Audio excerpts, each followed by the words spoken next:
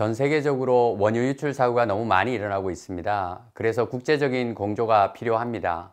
국제해사기구 주도로 전 세계가 함께 모여서 기술 및 정책들을 개발하고 공조하게 됩니다.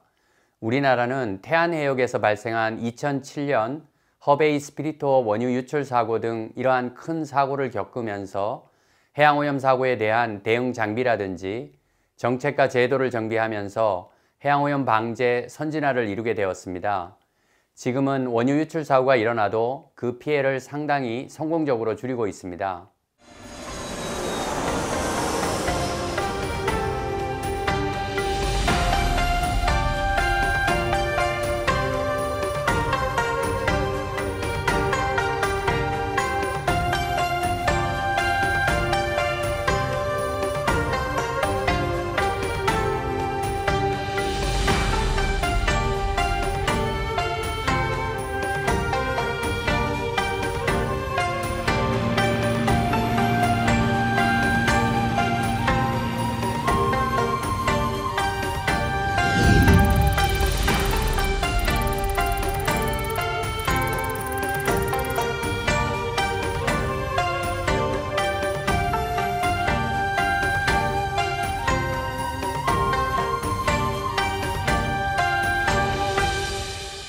그래서 코이카는 베트남의 해양 환경 관리 기반을 구축하기 위한 공적 개발 원조 사업을 진행하게 되었는데요. 이 사업은 한국의 선진화된 해양오염 방제 기술을 베트남에 공유하고 양 국가의 방제 협력 강화를 통해서 베트남의 깨끗한 해양 환경을 보존하기 위한 것입니다. 한국의 해양오염 사고 대응 사례, 유출료 확산 예측 기술, 환경 민감도 평가, 해양오염 위해도 평가, 유지문 분석 등과 같은 이러한 선진화된 방제 기술 교육을 베트남에 전수합니다. Hôm nay, chúng ta cùng tìm hiểu về bản đồ nhạy cảm môi trường, cung cấp thông tin cơ bản và quan trọng cần thiết để chuẩn bị và ứng phó sự cố ô nhiễm biển do tràn dầu.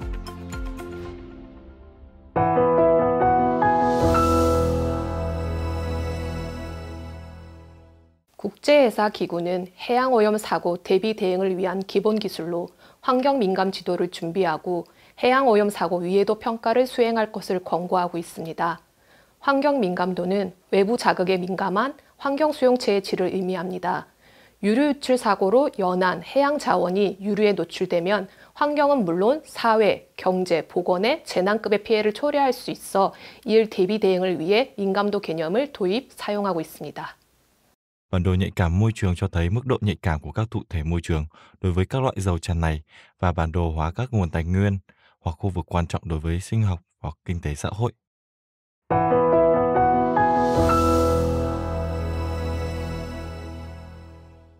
Tùy theo mục đích ứng phó ô nhiễm biển mà bản đồ nhạy cảm có thể được chia thành. Bản đồ nhạy cảm chiến lược, bản đồ nhạy cảm chiến thuật, bản đồ nhạy cảm phục vụ hoạt động ứng phó tràn dầu. Bản đồ nhạy cảm chiến lược là bản đồ được lập ra để xây dựng chiến lược ứng phó toàn diện đối với các tai nạn ô nhiễm dầu và xác định thứ tự ưu tiên ứng phó. Bản đồ nhạy cảm chiến thuật là bản đồ được lập ra để xây dựng và thực hiện các kế hoạch ứng phó và bảo vệ tại chỗ trong trường hợp xảy ra sự cố ô nhiễm tràn dầu.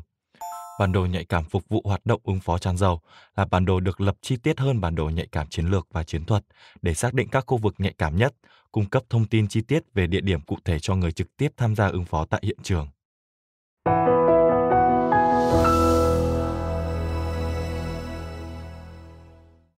Thông thường, trình tự lập bản đồ nhạy cảm là thiết lập phạm vi địa lý, xác định tài nguyên sẽ lập bản đồ, thu thập thông tin, tài liệu, xác định tài nguyên nhạy cảm, xây dựng bản đồ nhạy cảm chiến thuật, xây dựng bản đồ nhạy cảm chiến lược, lập bản đồ nhạy cảm phục vụ công tác ứng phó.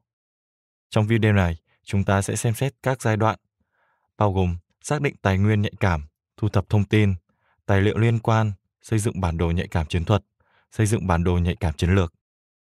Nhận dạng tài nguyên nhạy cảm môi trường như sau.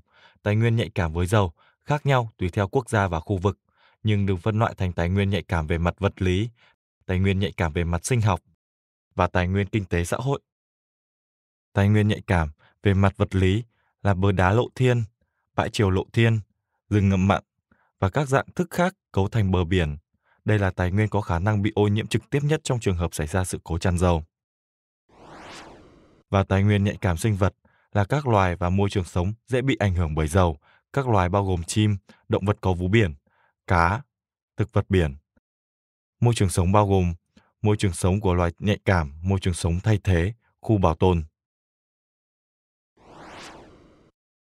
Tài nguyên kinh tế xã hội bao gồm trang trại nuôi cá, khu vực lấy nước biển, khu vực du lịch, giải trí, bến cảng, hoạt động công nghiệp, cơ sở hạ tầng khai thác, sản xuất, vận chuyển dầu và các địa điểm văn hóa cần được bảo vệ khỏi sự cố tràn dầu do hoạt động kinh tế và cư trú của con người. Để xác định phương pháp thu thập dữ liệu thông tin, trước tiên thu thập và liệt kê thông tin về các nguồn tài nguyên nhạy cảm có thể bị ảnh hưởng bởi sự cố tràn dầu và các khu vực của chúng. Sau đó, dựa trên danh mục đó, chúng ta tìm kiếm và tra cứu tất cả các loại tài liệu, thông tin do cơ quan, hữu quan nắm giữ.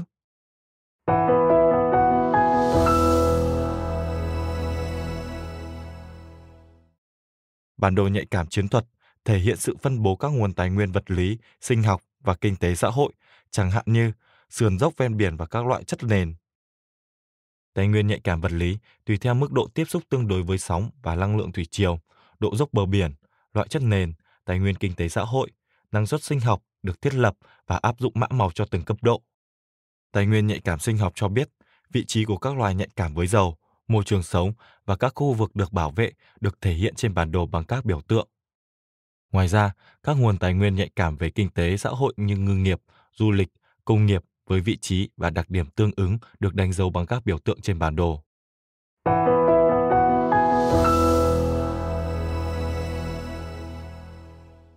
민감 지역은 유류에 대한 물리, 생물, 사회, 경제적 민감도에 따라 결정됩니다. 따라서 각 자원에 대한 개별 민감 정도를 평가한 후 이들을 통합하여 점수 혹은 등급을 매기고 전략 민감 지도에 민감도가 높은 지역에 대한 정보를 표시하여 제공해야 합니다. Mức độ nhạy cảm của từng tài nguyên được xác định bởi các đặc điểm riêng của chúng.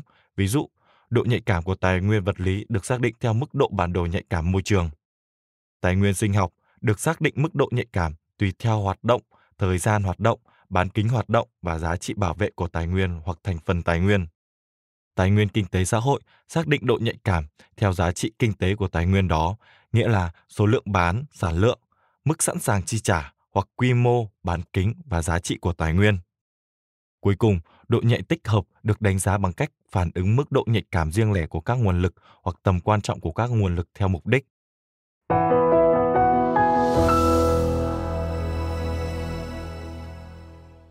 민감 지도는 해양 오염 방제 대비 및 대응에 필요한 기본적이고 중요한 정보를 제공합니다. Bản đồ nhạy cảm được sử dụng theo các cách khác nhau để chuẩn bị và ứng phó với việc kiểm soát ô nhiễm biển. Khu vực ứng dụng chính là thiết lập hệ thống hỗ trợ ra quyết định kiểm soát ô nhiễm biển, hệ thống dự báo theo mùa độ nhạy cảm của các tài nguyên biển, lựa chọn các khu vực ưu tiên để kiểm soát ô nhiễm biển và thiết lập các chiến lược ứng phó, lựa chọn các phương pháp ứng phó sự cố ô nhiễm biển. Nói cách khác, khi xảy ra sự cố tràn dầu, hệ thống hỗ trợ ra quyết định kiểm soát ô nhiễm biển sẽ kiểm tra khu vực ô nhiễm dự kiến và các nguồn tài nguyên nhạy cảm với thiệt hại theo dự đoán chuyển động lan của dầu. Ngoài ra, các khu vực kiểm soát ưu tiên được lựa chọn và các phương pháp kiểm soát biển và ven biển tối ưu được áp dụng để bảo vệ các nguồn tài nguyên nhạy cảm. Tính toán loại và số lượng thiết bị ứng phó cần thiết để phản ứng nhanh chóng ban đầu và thiết lập kế hoạch triển khai các nguồn lực một cách hiệu quả.